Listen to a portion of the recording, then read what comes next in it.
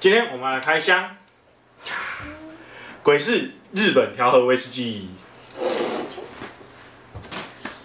乱丢对吗？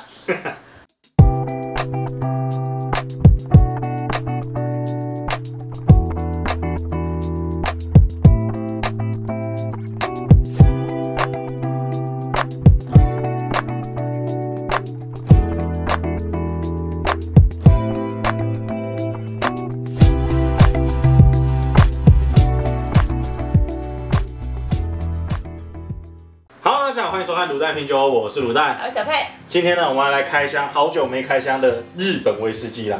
说到日本威士忌的话，小佩，你第一个对于日本威士忌的印象是什么？没有印象，好，非常好。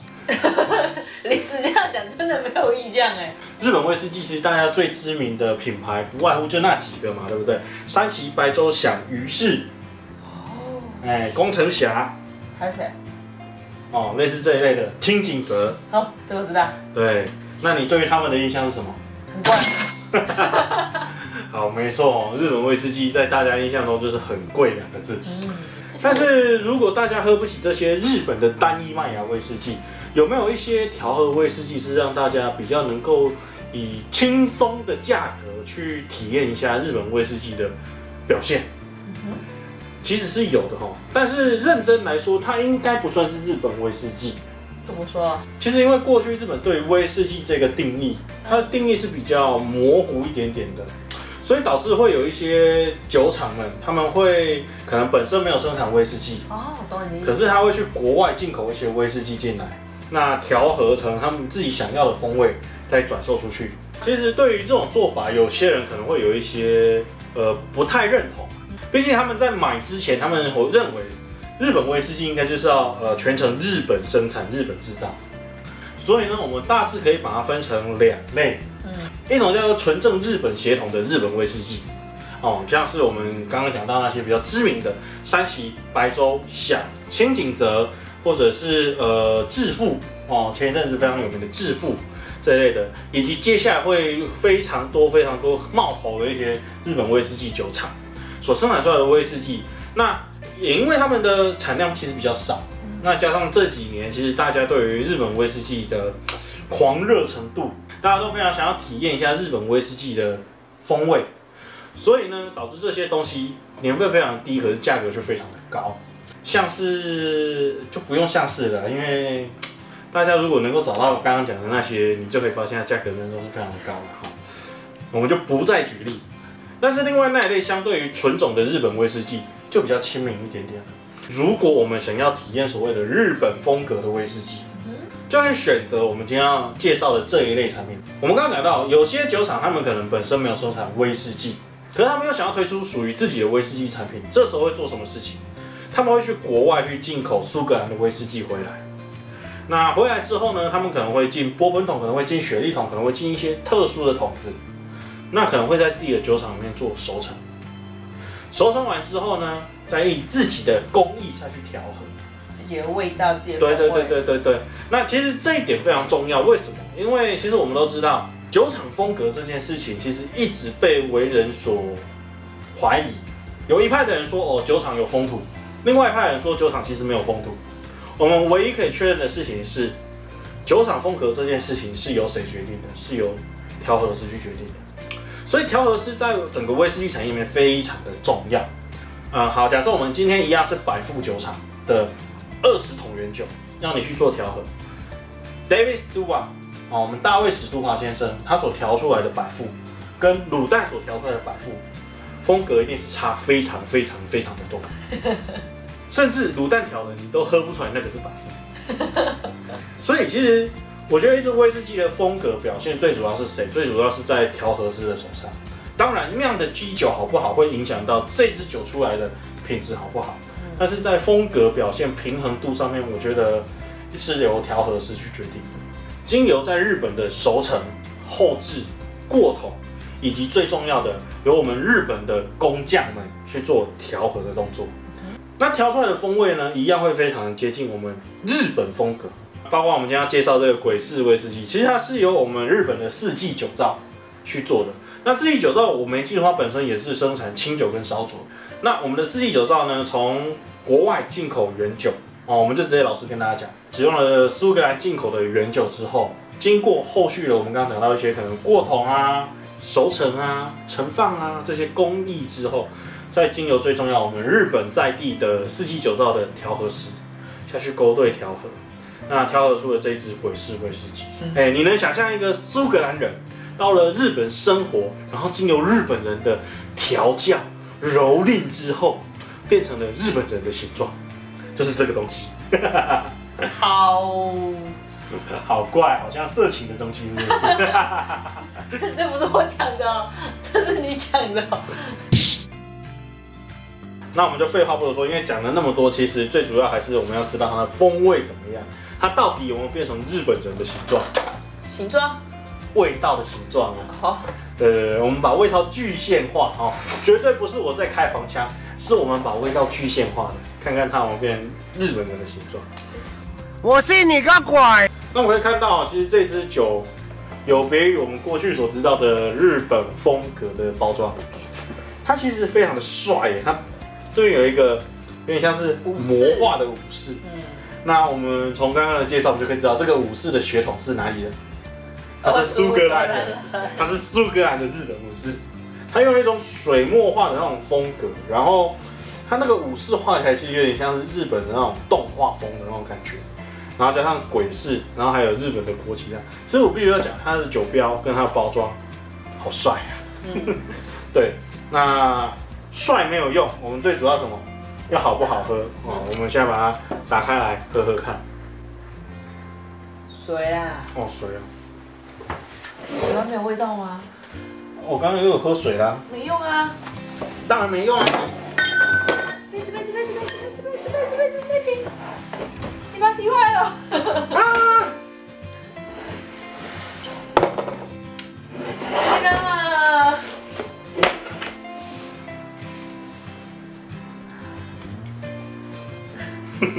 这段放进去吗？A few moments later. 好啊，我们解决了我们的放送事故了。那我现在来把它开箱来喝喝看吧。那我发现其实我们日本的威士忌很多也都是使用旋转瓶盖，哦，包括像我们之前开箱过的那个芝多谷威士忌也是旋转瓶盖。我觉得它有一点青苹果跟奶油的味道，然后中下层有一点香蕉的那种甜甜的香气在那边。它有一种木头，它的木头是块木吗？也不是，樟木吗？就是油脂度比较高的那种木头，对，然后感觉是有点像是东方风味的那种木头，而且我觉得它有点香草的气息在里面，有点像是薄荷吗？还是啊柠檬草？马鞭草那一类的。对，马鞭草、柠檬草那种香柠气。檬马鞭草那一类的。你说香草，它有点蜂蜜，很像是香蜂草。嗯，而且它最下面有一点，有点像是奔放的木质跟香草那种调性在里面，很像是那种我们走在下过雨的那个香草园里面那种感觉。如果你闻比较久的话，有一种香草味，它味道比较重，嗯，叫天什么葵？天竺葵是不是？哎、对对对？有没有感觉？就是它味道比较重的香草味。可是我觉得你说下层闻比较久，我闻到觉得它味道比较不像天竺葵，有点像是豆秋汤的味道。你是因为你讨厌它吧，所以印象深刻吧？对，它有一点点热带水果的味道，凤梨呀、那一类的。嗯，有一点。好，我们喝喝看吧。四十三趴吧，嗯，它酒精浓度四十三趴，可它喝下去非常的饱满，它的香气非常足够，而且它接触到我舌头，让我的第一个感觉就是非常的油润，然后再来它很甜，那种感觉。可是我觉得它虽然有酒精感，嗯，但是不讨厌，它不是呛的那一种。它那个酒精感其实是有点像是我们在喝那个小酒 gay 有没有？有点姜的那种辛辣感，然后有点酒的香气在里面。啊，可是你喝下去不会有那种感觉，对就只有在可是你的嘴巴一点点而已，可是你的喉咙跟胸腔会有点热热的。的。对，嗯，喝了有点中药香。嗯，应该说它有一点像是中药的那种木质调性在里面，嗯，它不像是我们熟悉的那种呃美国白橡木桶或者是波本桶的那种木质调性，有点像是香蕉水或者是有机溶剂那种木质调性。不是，它是非常漂亮的那种带有东方风格中药材的那种木质调性，有点像是黄芪，有点像是甘草，回甘回甘，对，它会回甘诶。就是它在舌根的地方虽然会有一点点的苦味，在尾韵的时候，嗯，它舌根虽然有一点苦味，可是有一个很明显感觉到你的两颊有点像是我们在喝那个泡的那种茶叶那种回甘的感觉。可它一开始它的油润度很像在吃奶油，嗯，感觉整口奶油的感觉。很滑顺，很油润，然后其实有非常多的水果的风味在你的舌头这边，嗯、像是苹果啊，有点桃子啊，而且葡萄，哦，果麝香白葡萄，对，有点像是黄金奇异果那种感觉，就是黄金奇异果那种酸酸甜甜的那种味道，对。因为你说如果是绿色那种奇异果，它的酸味又太重对酸对对对，有点有黄金奇异果那种感觉，嗯，欸这次真的不错喝。还可以，还不错。因为它在尾韵的时候，它那个果香味跟果甜的感觉非常的漂亮。那这种果甜的感觉又跟我们熟悉的那种雪莉桶的果甜哦，葡萄啊，或者是乌梅的那种果甜又不太一样。它是有点像是我们刚刚讲的苹果那一类的，或者是一些清甜对，没错，是比较清甜的味道。嗯，哎，整体味道是非常漂亮的。这带波本还是雪莉啊？它是调和，所以所以不一定。它整体而言风格上面，我偏老实讲，波本吗？对，它是比较偏波本，你喝得到那种东方的味道在里面。哎，我不知道四季酒庄他们本身好像有生产自己的威士忌，有可能是两边可是量很少，然后可能做调和，其实有点像什么？有点像是我们那个南投酒厂有出一支黑色的方形的那一支威士忌。哦，那一支的话，它也是进口苏格兰的原酒进来，然后再跟南投酒厂自己本身做的威士忌下去做勾兑调和。啊，南投酒厂的一些课长啊，一些调和师傅啊，我问过他，哎、你觉得你们的产品里面，你们的威士忌产品，你觉得哪一支 CP 值最高？他说，哎、黑方他们认为 CP 值最高。他说，其实用进口的酒，他们可以调出他们想要的风味。对，所以我相信这支应该也是一样，就是 CP 值非常的高，它可以使用进口的酒，然后去调和出他们要的那种日本风格的威士忌。那从结果论，我们刚刚喝过的结果上来讲，它确实是一支好的威士忌。嗯，还不错，真的不错。对，而且有人说啊，它是进口的原酒啊，不是纯的日本威士忌啊，就一定是不好的酒吗？我觉得并不一定，嗯，因为其实我们目前公认的哈，平均品质最好的酒其实就是苏格兰的威士忌。嗯对，那它从苏格兰进口进来，然后调和成日本人喜欢的风格、喜欢的风味，很明显的你还是可以感受得到日本威士忌的那个风味啊。其实有很多很多过去的所谓日本威士忌都是调和威士忌，但是又有多少人喝得出来？嗯哼，对啊，对，这代表什么？这代表着大部分的酒经过我们日本的工匠们去精细的调和之后，他们一样可以引领出那个所谓日本威士忌的风格。嗯，那这个风格在大家盲测的时候，我相信应该是喝不出来。好了，那为什么今天卤蛋会有这么多的鬼式威士忌？相信老观众们应该就知道了哈。卤蛋这么抠门，绝对不会每次买两支一样的。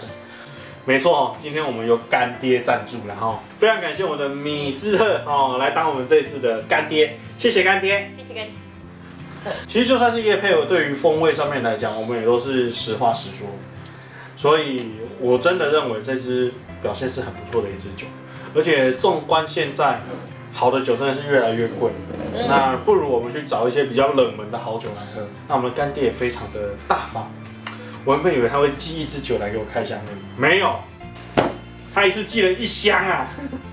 朋友啊，他一次寄了一箱六瓶啊！毕竟大家知道卤蛋只是爱喝酒，但是我并不是爱喝酒。啊，爱喝酒并不是爱喝酒，卤蛋喜欢爱品酒，嗯但是卤蛋并不喝的那么多。嗯简单讲，我就是威士忌界的渣男。嗯，那不如我们就跟大家分享吧。对，那我们这一次就不要用脸书了，因为我发现脸书好像对于一样的回复留言，它会去锁我们的曝光啊，所以我们这次直接用我们的 YouTube，我们在我们这支影片下面留言，我们影片下面留言，我也想要尝试看看日本的鬼式调和威士忌。那我们就会抽出下面三位观众，可以得到一支我们的鬼式日本调和威士忌。因为酒这类东西要寄出国比较麻烦一点点，所以我们这一次就先只限定我们台湾的观众。可以参加我们的抽奖。好，那如果大家要参加抽奖，要记得到下面留言。那以上就是我们今天开箱这一支哈，鬼市日本调和威士忌。好了，今天这边，喜欢这支影片就帮我们点赞以及分享，想要更多欢迎到朋友们公号想要看第一手片，一定要订阅我们，并且打开小铃铛。如果不定时的上 IG 粉丝更新我都来这边大家。还在不久，还在我开了，未成年绝富强要别人酒，那我们下次见了，拜拜拜！记得抽奖啊，赶快下面留言呐、按赞按起来。